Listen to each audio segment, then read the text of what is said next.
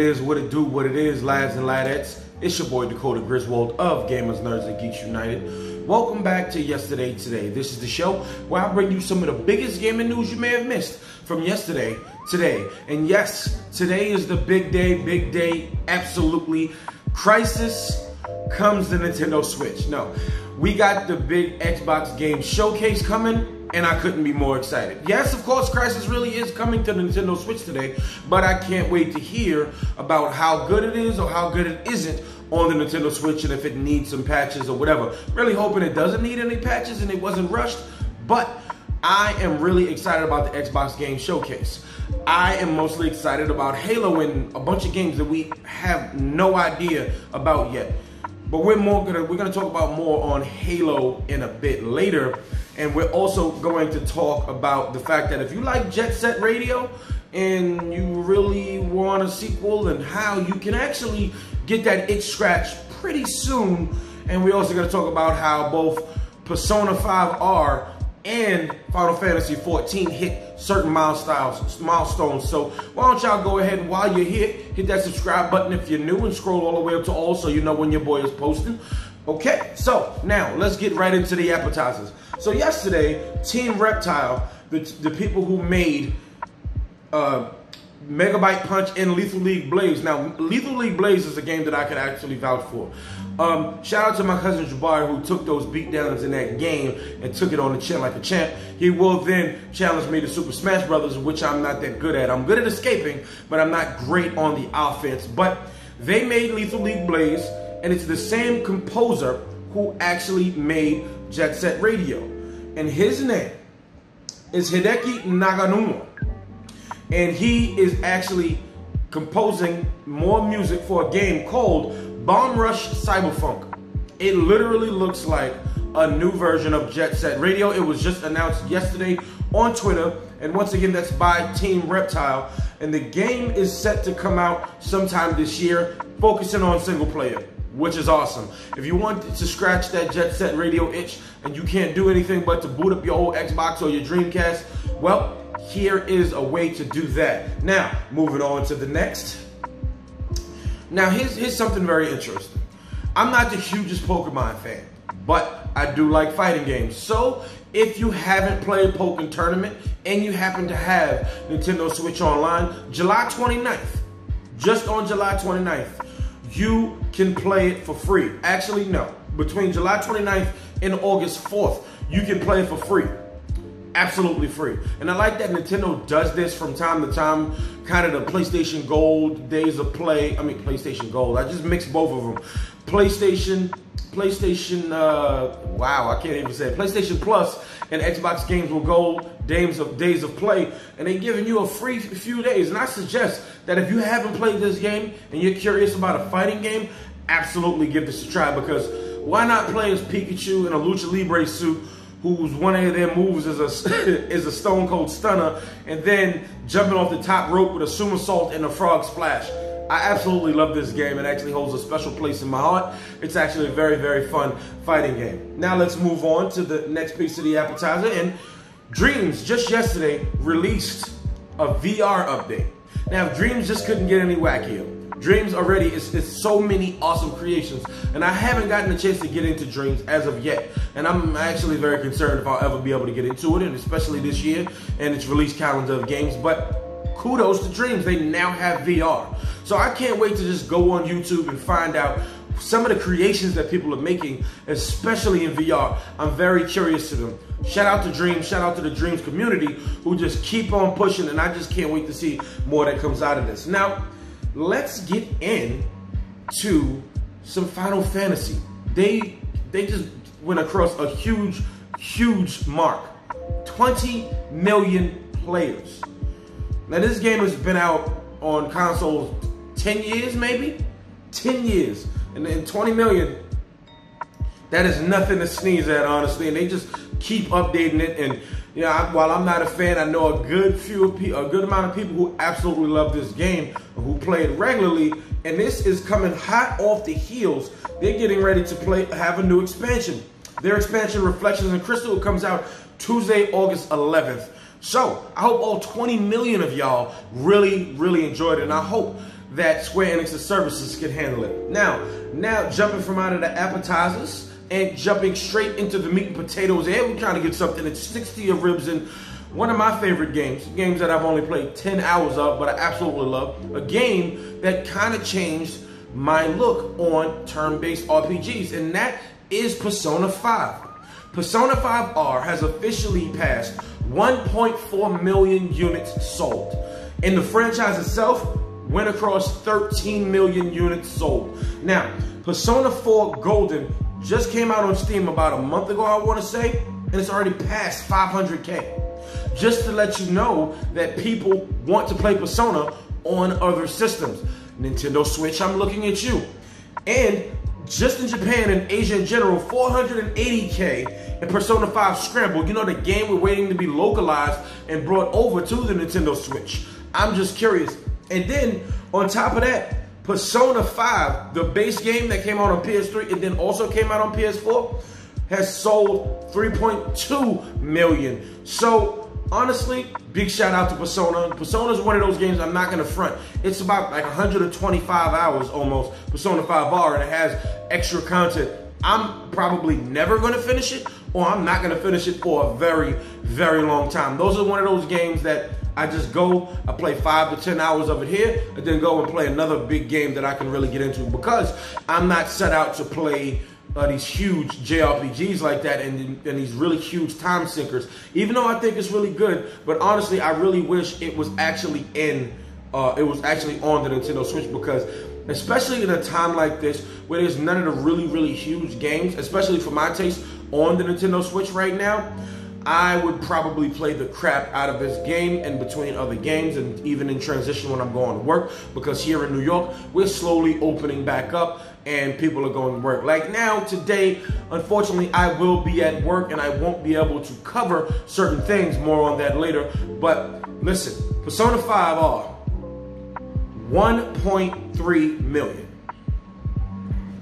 That's nothing to sneeze at, and I'm very happy to hear about it, and I can't wait to hear more about Persona. Let us enjoy Persona 5R, and maybe in the next year or two, we'll hear something about Persona 6.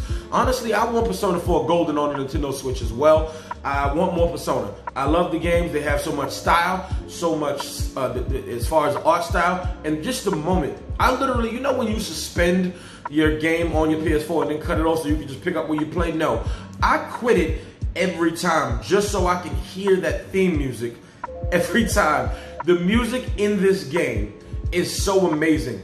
And then every time I go to battle, I still put my controller down to dance because the last surprise boots up and I absolutely love it. But that's enough about Persona 5, even though you should get it. I got the steel case version. So even though you should get it, let's move on to the next story. And uh, BioWare basically confirmed yesterday that, hey, we're still making Dragon Age, so don't worry about it. And Mark Darrah, he, he said on Twitter, I realize that most of you are here for Dragon Age news, and there hasn't been a lot of that lately. Let me just run down some things I, I can say. We are working on the next Dragon Age, confirmed.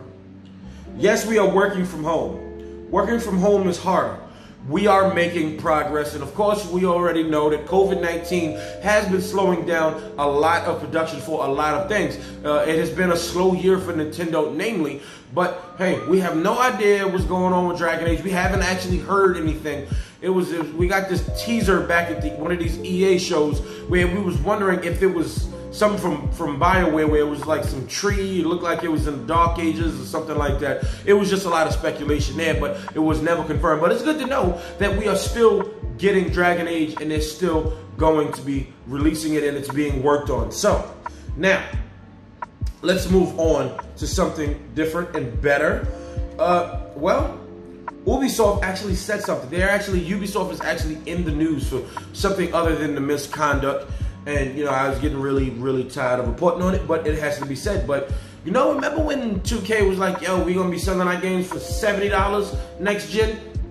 Well, Ubisoft said, nah, for now, we're still to sit at, we're still to sit at 60. And I'm, and I'm very happy about that.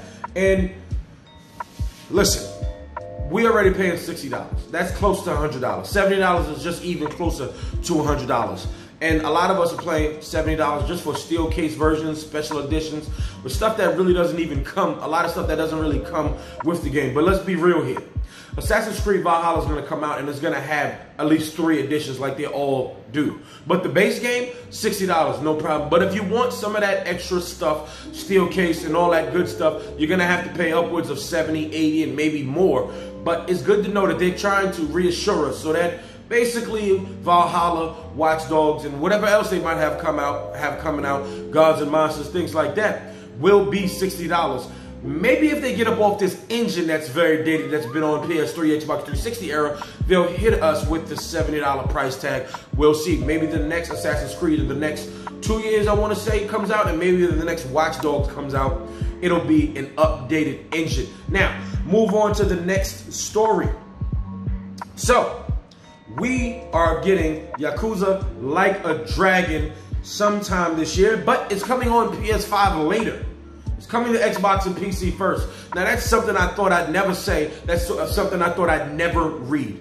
But because Xbox is trying, uh, is trying to get over, uh, you know, basically get over with the, the fans over in Japan and in Asia. Well, this is some of the deals that they have to strike, and I and I appreciate it. Maybe we can get some Persona on Xbox. Not saying I would be a big fan of that because I have it on my PS4. That's fine. But I would absolutely love it on my Nintendo Switch. But they need to get more of these big games, these Japanese games, over on and over on the Xbox and, and in Japan so they can sell more because it doesn't really do very very well over there. They were selling it for a deep as like a DVD player at one point just to get the stock out. Of it. It's really really sad. But Yakuza Like a Dragon, albeit turn-based RPG, never played a Yakuza game. It actually looks fun, admittedly, and honestly.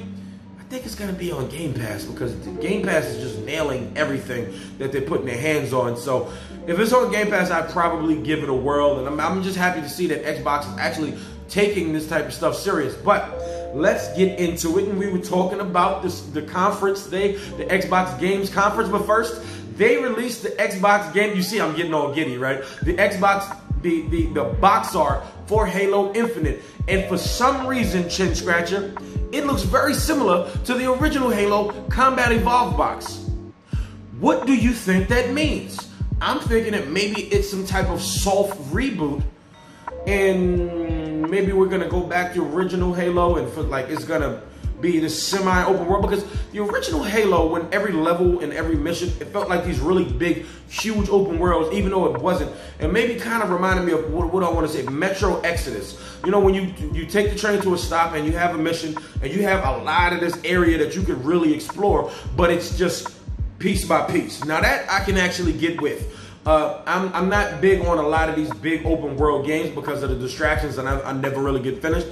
But Halo, so let, but Halo could do it and it's actually fun. But let's also talk about the fact that on his left hand, Master Chief, he has a grappling hook. Now, Halo is pretty fast paced and you can jump like 10 freaking feet into the air.